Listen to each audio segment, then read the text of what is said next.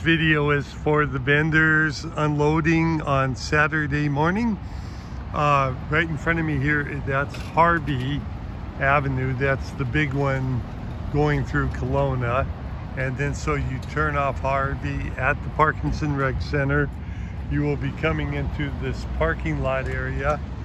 There is like a roundabout here where you can uh, park you could drop your stuff off here and then go park and then go in the front door.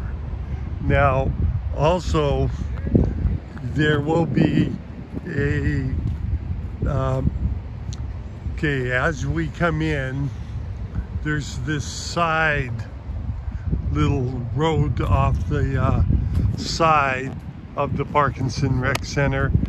And from there, you can go around back and there's limited amount of uh, space there for cars, but you could drop your stuff off and then go park back in the parking lot.